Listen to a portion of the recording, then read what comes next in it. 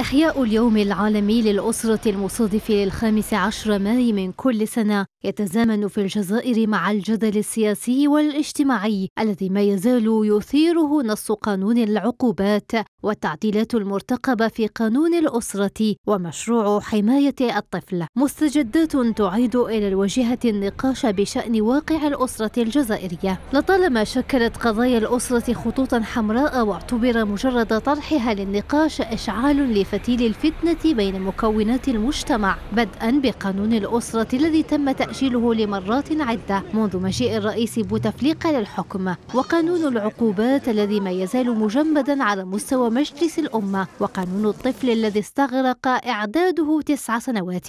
وأخيرا مشروع المخطط الوطني لمرافقة المراهقين الجاري التحضير له. العنف الأسري والمدرسي والتزايد المستمر لحالات الطلاق الذي قارب خمسين ألف حالة سنويا واتساع ظاهرة الخلع الذي بلغ حدود العشرين ألف حالة سنويا وتفشي ظاهرة الأطفال غير الشرعيين المقدرين رسميا باثنتي عشر ألف حالة. وظاهرة التسول الأسري كلها ظواهر جعلت من التفكير في كيفية تكييف التشريعات مع حجم التحولات في المجتمع أمرا حتميا. وإن كان شعار الأمم المتحدة في اليوم العالمي للأسرة لهذه السنة هو إشكالية إعالة الأسرة ماليا والتي لم تعد حكرا على الرجل. فإن هذا الشعار ولد معادلة صعبة بالجزائر بين حتمية خروج المرأة للعمل لمساعدة شريكها الرجل في تحمل أعباء الأسرة وفي ظل تراجع القدرة الشرائية للجزائريين وبين مسؤولية تربية الأجيال التي تقع على عاتقها.